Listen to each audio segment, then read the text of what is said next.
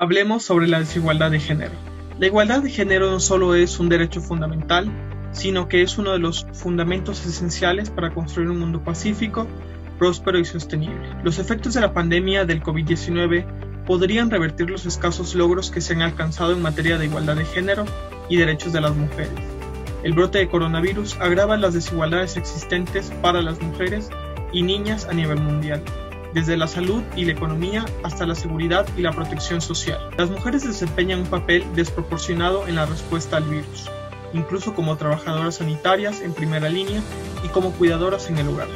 El trabajo de cuidados no remunerado de las mujeres ha aumentado de manera significativa como consecuencia del cierre de las escuelas y el aumento de las necesidades de los ancianos. Las mujeres también se ven más afectadas por los efectos económicos del COVID-19 ya que trabajan de manera desproporcionada en mercados laborales inseguros. Cerca del 60% de las mujeres trabaja en la economía informal, lo que las expone aún más a caer en la pobreza.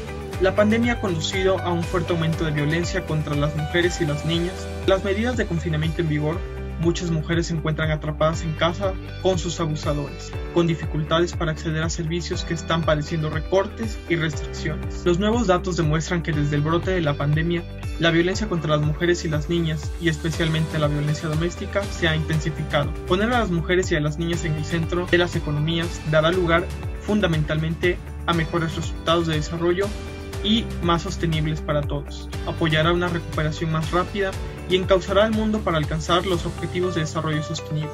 Todos los planes de respuesta al COVID-19, así como todos los paquetes y presupuestación de recursos para la recuperación, deben abordar los efectos en términos de género de esta pandemia. Esto significa incluir a las mujeres y a las organizaciones de mujeres en los planes de respuesta de la COVID-19 y en la toma de decisiones, transformar las desigualdades en el trabajo, de cuidados no remunerados en una nueva economía de cuidados intensiva que funcione para todo el mundo. Diseñar planes socioeconómicos con un enfoque intencionado sobre las vidas y los futuros de las mujeres y las niñas. Una respuesta rápida y específica para mitigar el impacto de la crisis del COVID-19 sobre las mujeres y las niñas, así como para garantizar que la recuperación a largo plazo las beneficie para ello se ha centrado en cinco prioridades. Mitigar y reducir la violencia de género, incluida la violencia doméstica promover que la protección social y los paquetes de estímulo económico sirvan a las mujeres y a las niñas, fomentar que las personas apoyen y practiquen el reparto equitativo del trabajo de cuidados, promover que las mujeres y las niñas lideren y participen en la planificación y la toma de decisiones de la respuesta a la COVID-19, garantizar que los datos y mecanismos de coordinación incluyan la perspectiva de género. La pandemia de la COVID-19 brinda una oportunidad para tomar medidas radicales y positivas que compensen las desigualdades tradicionales presentes en numerosas áreas de la vida de las mujeres y para construir un mundo más justo y resiliente. En la actualidad, la violencia contra las mujeres y las niñas es una de las violaciones de derechos humanos más extendidas, persistentes y devastadoras del mundo. Supone un gran impedimento para el cumplimiento de los derechos humanos de las mujeres y las niñas y para la consecución de la Agenda 2030 para el Desarrollo Sostenible. Esta violencia se produce en todo el mundo y afecta a todas las generaciones, nacionalidades, comunidades y esferas de nuestra sociedad con independencia de la edad, la etnia, la discapacidad u otros aspectos.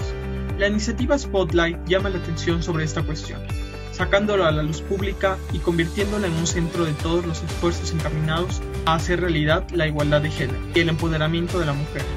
En consonancia con la Agenda 2030 para el Desarrollo Sostenible, el nombre nos recuerda que a menudo la violencia tiene lugar en la oscuridad se niega o se oculta y no puede sobrevivir a plena luz. También pone en relieve la importancia de invertir de manera específica en las mujeres y en las niñas para alcanzar el desarrollo sostenible y hace visible este decidido y renovado compromiso de la Unión Europea y las Naciones Unidas.